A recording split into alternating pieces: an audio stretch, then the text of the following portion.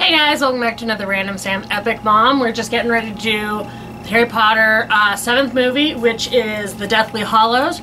Now, guys, we are on day 51, so we've done a week of this, and I'm really proud of us. I mean, we've ha we're halfway through our goal. We're doing good. We're sticking to it. And this week we've tried to do some Harry Potter themed stuff. Haven't always succeeded. Some days was just like no.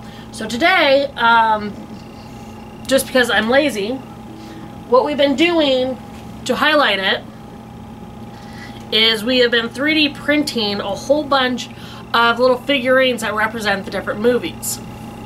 Uh, I'm just showing you one right now because a lot of them are going and we're going to paint them both tonight while we're watching the movie and tomorrow morning.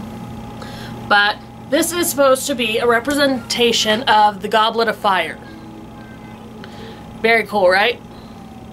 So, we're doing a bunch of little small miniatures like that. Uh, then we might put them on like a little uh, tray to, or some sort of plaque to commemorate them, some shelf. I don't know. I don't have a clue what I'm doing.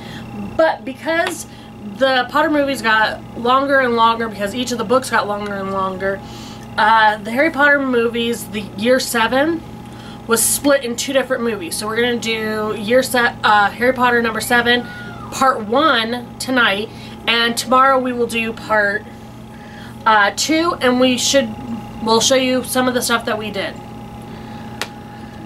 For now, though, I'm just going to go enjoy a movie. Talk to you guys soon. Bye.